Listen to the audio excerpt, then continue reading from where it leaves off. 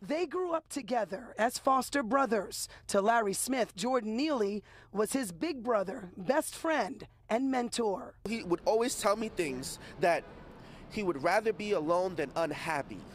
Smith says the two were products of a broken foster care system.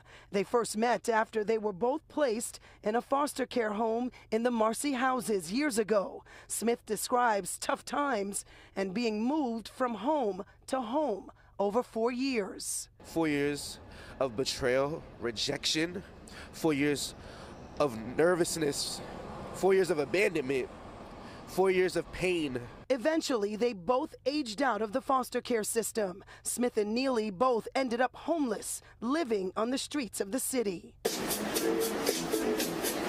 This is one way Neely would get money for food, impersonating Michael Jackson on the trains. Smith was right there. He would do the whole, the Billie Jean, and I would sit there and I'd have the hat that he gave me for Michael Jackson and collect a couple of dollars. He used that because foster parents were abusing us. Smith says Neely tried to get help from the city, but fell through the cracks. There's no reason why Jordan was on the Section 8 list for so long and never got picked. There's no reason why foster care youth have been on the list for over a decade. I have not even got picked.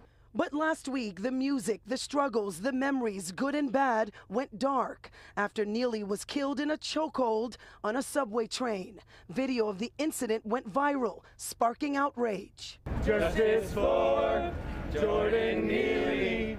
And calls for the man seen choking Neely to be arrested and prosecuted. I want to see a conviction, a charge.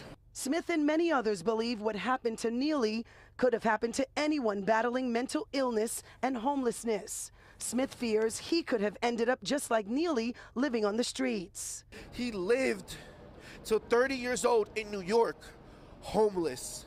That's rare. Not a lot of people make it to 30 years old sleeping on a train car on a bridge. But even without permanent housing, Smith tells Pix 11 News, Neely helped him find his way. He helped me with my college application to get into my college where I'm on my way to take my finals right now. Now that his brother is gone, Smith says it's his life mission to get justice, not only for Neely, but for so many others. Jordan never wanted money. Jordan wanted food. Jordan wanted resources. Jordan wanted a home. Smith is also a community activist fighting for foster care reform. He says he will continue to do so. He is a college student, but while on break, it's back to homelessness for Smith.